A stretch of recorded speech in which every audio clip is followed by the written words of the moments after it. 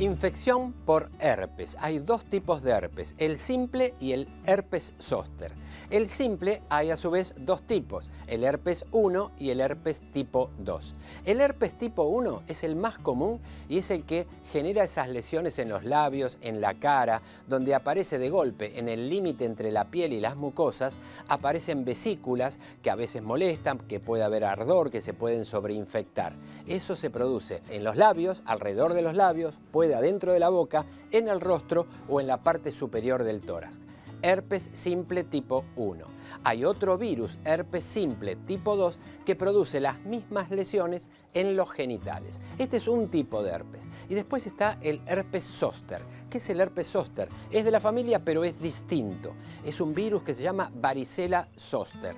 Cuando una persona se enferma de varicela, la mayoría, se cura cuando es chico, pero ese virus que se llama varicela zoster queda escondido en los nervios, queda escondido, acantonado, oculto, lejos del sistema inmunológico en los filetes nerviosos. Y un día, por inmunodepresión, por cambios hormonales, por exceso de esfuerzo físico, por sueño, por estrés, de golpe aparece. ¿Y en dónde? Siguiendo los ramos neurales, es decir, los filetes nerviosos. Y es común que aparezca entre las costillas y que vaya avanzando. Es muy doloroso, este tipo de herpes, produce vesículas, se puede sobreinfectar, hay enrojecimiento y los mitos dicen que cuando agarra de los dos lados y se juntan en el medio, la persona se muere. Es mentira, eso es un mito, no es así.